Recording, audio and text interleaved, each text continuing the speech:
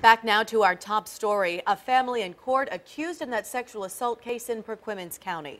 10 News size Liz Palka has been there all morning and she just got out of court and joins us now with an update. Liz?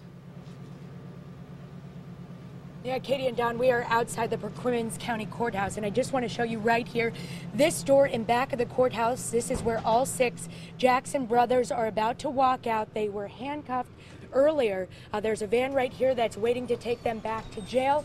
Looks like they'll be coming out right now, escorted by uh, one of the deputies. Here they come, all six Jackson brothers. Ask for court-appointed attorneys. Guys, can you tell us what happened in your house?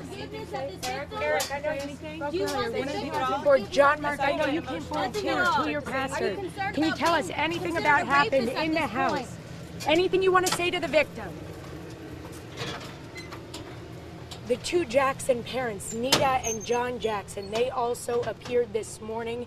They, uh, the two of them also asked for court-appointed attorneys. They are charged with one count each of felony child neglect. Uh, they are out on bond, so they showed up earlier this morning and left just about 10 or 15 minutes before their sons. Of course, uh, as you can see by the jailhouse uniforms, that all six boys are being held in jail right now. And by the way, I shouldn't call them boys. They're between the ages of 18 and 27 years old.